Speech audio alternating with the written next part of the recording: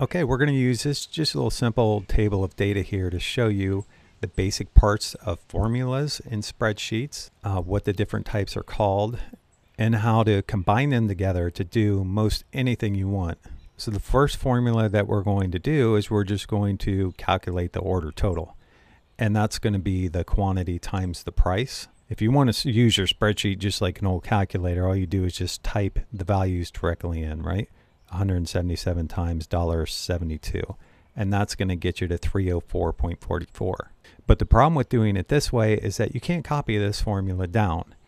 And if these values change, this formula doesn't automatically update because it's just hard coded in. So this is probably the most basic type of formula that you can do, but it's not very useful.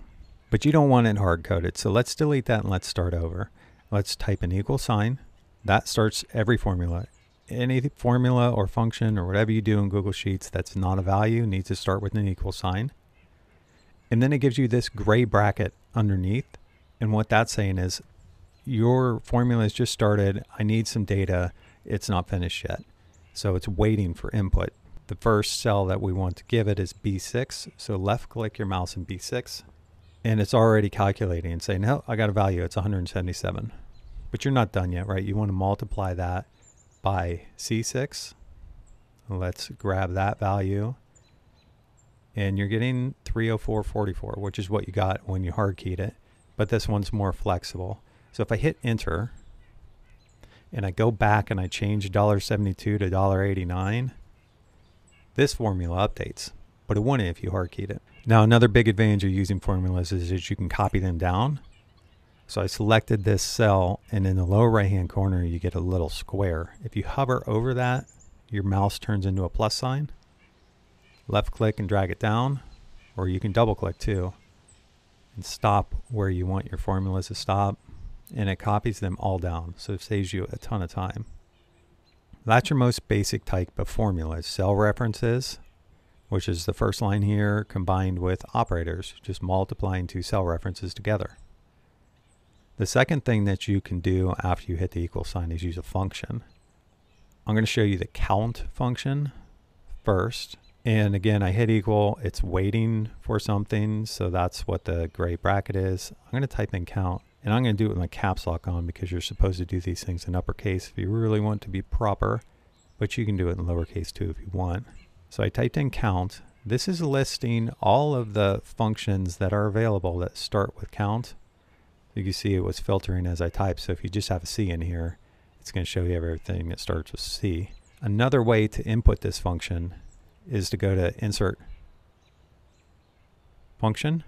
And this will show you the most common functions. It actually counts on here because you'll use count all the time. So let's left click on that. And this put in the two parentheses for me. Every function has to have an opening and a closing parentheses and those tell the spreadsheet when you're starting to give it input and when you're done. So If you start to look at the helper text down here, which always pops up after you type in the name of the formula and you hit the first parentheses, it can take a value, but it can take other values too if you want. So this is in brackets, which is saying it's optional, but we're on value one right now. And that's highlighted because Sheets is telling you that's where you are. If you go down, it also has a little gray triangle, which is giving you an explanation for what value one is. And it's just saying, hey, give me the range of data that you want me to count. I'm going to do it with my mouse. You can also just type it in or use the arrow keys. In this case, I want D6 through D9. Left click in D6, hold down the left mouse key and drag down to D9. Let off the mouse key and you see it put the range into the function. This function is done if you want it to be now. There's no little gray bracket here waiting for more data and it's showing you a value that it's calculated. Let's go ahead and press enter. So I've counted four. We're also going to do a total. This is going to be another very common function. It's going to work the same way. And I just did that one with my arrow keys. You see, if you do these a lot, you get pretty fast at it. Now the next concept that I want to show you is stringing functions together for a longer formula and you can string them together with other operators. So in this case we're going to calculate the average Well, you would calculate the average by dividing the total by the count, right? So although I just did these in these two cells, you really could do D12 divided by D13, and that's the average. You could also kind of homebrew a function here, and so you could put the sum in the numerator, and then you could divide it by the count as the denominator. And close off the parentheses. And you type enter, it's the same thing. So you strung two functions together. You could also just use the average function if you knew that existed and average these cells.